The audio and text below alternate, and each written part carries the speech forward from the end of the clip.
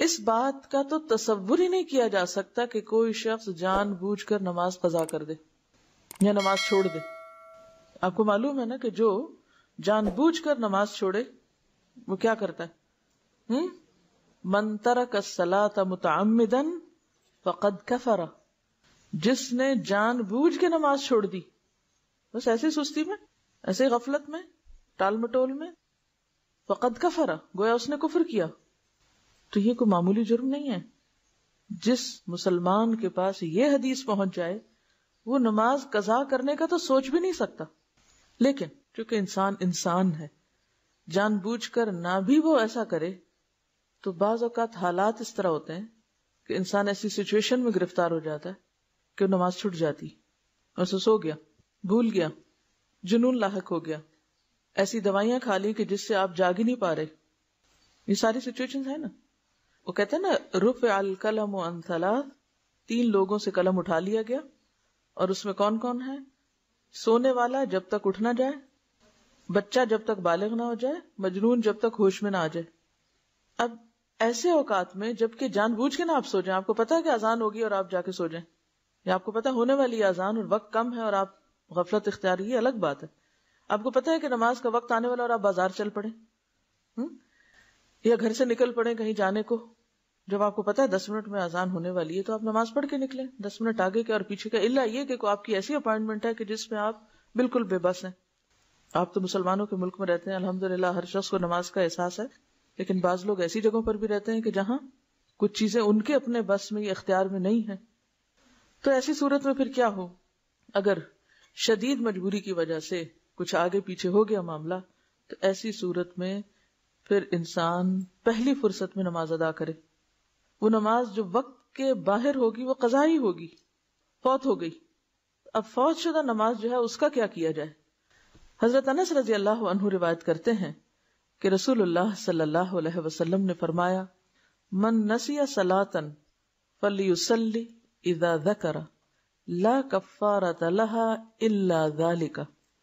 जो शख्स नमाज़ भूल जाए या सो जाए, बस उसका कफारा यह है कि जिस वक्त उसे याद आए या बेदार हो वो, उस नमाज़ को पढ़ ले। भूलने का इलाज क्या? जब याद आए, उसी वक्त पढ़ ले। चाहे वो असर के बाद रूब आफ्ताब से पहले तक का वक्त हो। उसे जोहर की नमाज़ में ऐसा हो गया। अब असर पढ़ के साथ ही, चाहे आप उसको मकरू वक्त कहेंगे, लेकिन उसमें भी पढ़ ले। इसी तरह कोई शख्स सोया हुआ था, सो के उठे तो जू ही उठे, उसे पढ़ ले।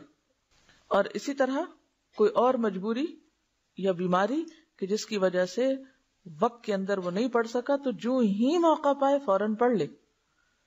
इस हदीस से मालूम हुआ कि अगर कोई शख्स नमाज़ पढ़नी भूल जाए और उसका वक्त गुजर जाए तो जिस वक्त याद आए, वो उसी वक्त पूरी नमाज़ पढ़ ले। और इसी तरह अगर कोई शख्स सो जाए, या सुबह आँख ही ऐसे वक्त खुले कि सूरज तुलू हो चुका हो तो जागने वाले को उसी वक्त पूरी नमाज़ पढ़ लेनी चाहिए, और उस पर किसी किस्म का कफारा नहीं है। नमाज़ छोड़ने का कफारा क्या है? नमाज़ की अदायगी। कजाय उम्री वाले मसले की शरीयत में कोई असल नहीं, लिहाजा ये बिदत है। कजाय उम्री क्या होती है कि इंसान जानबूझ के गफलत से नमाजें छोड़ता चला जाए कि अभी तो मैं बहुत मसरूफ हूँ, अभी मैं तालब इल्म हूँ, अभी मेरे बच्चे छोटे हैं, अभी मैं जॉब पर हूँ, काम है, और जानबूझ के नमाजें तर्क करता चला जाए कि जब मैं हज कर लूँगा और जब मैं बूढ़ा हो जाऊँगा, फिर मैं रिटायर हो जाऊँगा तो फिर और तो कोई काम नहीं, मैं पिछली नमाजें पूरी करता रहूँगा।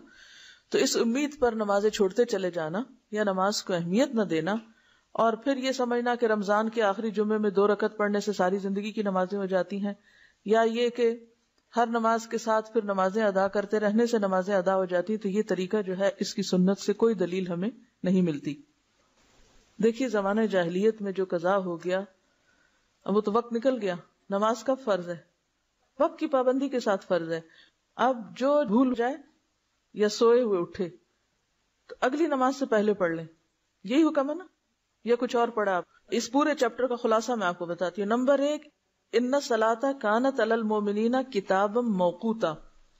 नमाज़ मोमिनों पर वक्त की पाबंदी के साथ फ़र्ज़ है। हर नमाज़ का एक वक्त है।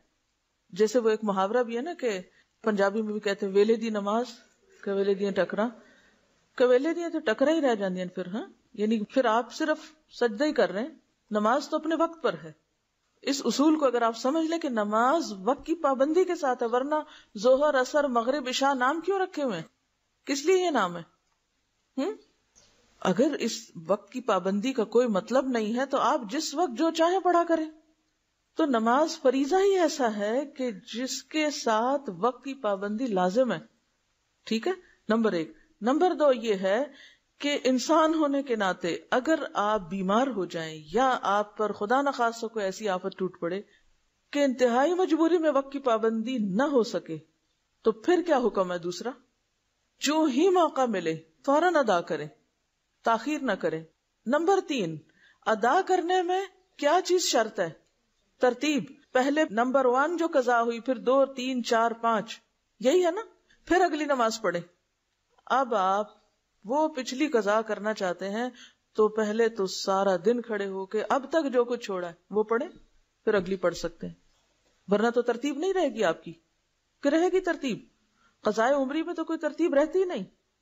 ये तीसरे कायदे की खिलाफ वर्जी होगी चौथी बात यह है कि जो शख्स नमाज़ जान बूझ के छोड़ दे, वो कजा करने वाला नहीं है, वो बहुत बड़ा मुजरिम है। उसके ऊपर तो बहुत सख्त बात है, और उसका इलाज तोबा ही है। तोबा इस्तफार और आइंदा के लिए नमाज़ की पाबंदी। ताकि कोई शख्स जुर्रत न करे नमाज़ के वक्त में नमाज़ छोड़ने की, क्योंकि मामूली जुर्म नहीं।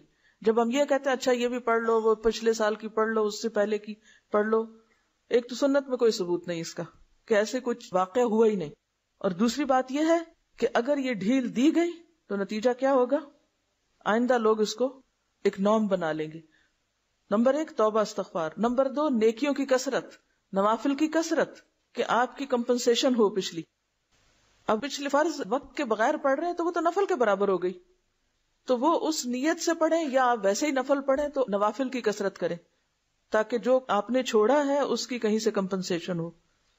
चौथी बात यह कि अगर आपकी ज़िंदगी नहीं, मसलन अगर आप इस चीज़ को उसूल बनाते हैं कि लाजमन पिछली सारी ही दोहरा कर उसी नंबर और उसी अदद में करनी है आपको तो उसका नतीजा या उसका मतलब क्या है कि आपको फिर उतने साल मजीद जीना चाहिए।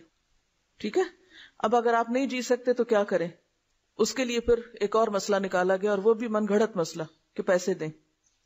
कोई सुन्नत शरीयत में कहीं भी नमाज़ का कफारा, नमाज़ के अलावा दूसरी कोई चीज़ नहीं। कोई दलील है ही नहीं।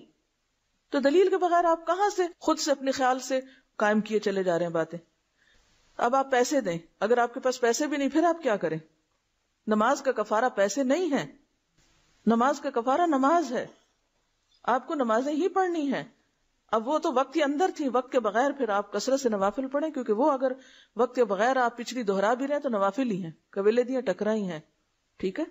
तो ऐसी सूरत में अब करने की ज़रूरत यह है कि उस नुकसान को मुख्तलिफ़ तरीके से पूरा करें। ठीक है? ऐसी सच्ची तौबा करें कि जैसे एक काफिर मुसलमान होने पर कुफर से तौबा करता है ना तो क्या होता है?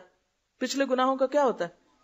एक काफिर जब मुसलमान होता है तो उसके पिछले गुना माफ़ होते हैं? तो फिर एक मुसलमान ने अगर कुफर का इरतकाब किया हुआ हो तो क्या वो तौबा करके मुसलमान नहीं हो सकता दोबारा?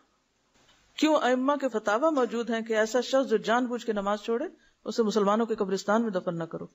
कोई मामूली बातें नहीं है, लेकिन हमने नमाज़ को एक मज़ाक बना लिया।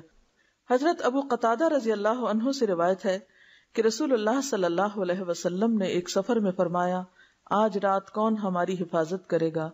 ऐसा न हो कि हम फजर की नमाज़ को न जागे. हज़रत बिलाल रज़ी अल्लाह ने कहा कि मैं ख्याल रखूँगा। फिर उन्होंने मशरक की तरफ़ मुँह किया और कुछ देर बाद बिलाल भी गाफिल होकर सो रहे। जब आफ्ताब गर्म हुआ तो जागे और खड़े हुए।